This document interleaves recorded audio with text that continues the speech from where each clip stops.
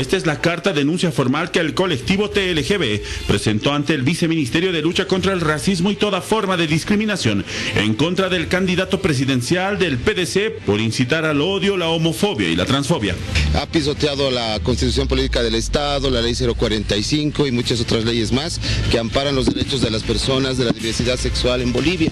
Y por eso estamos presentando una denuncia formal al Comité de Lucha contra el Racismo y toda forma de discriminación. Luego de las declaraciones de Chi Yun Chung, quien apuntó que se dispondrá de atención psiquiátrica a personas con elección sexual diversa, surge esta denuncia. Ya las leyes en Bolivia son las que tienen que hacerse cumplir, ¿verdad? Yo creo que es importante que nosotros los ciudadanos no debemos dejar de pasar nunca que nos vulneren nuestros derechos, porque tenemos normativas que nos amparan. Entonces, nosotros eh, pedimos que las normas pues se cumplan en Bolivia. Desde la Defensoría del Pueblo en su adjunta La Paz, se rechazan las declaraciones del candidato político y se le hace una recomendación pública y formal.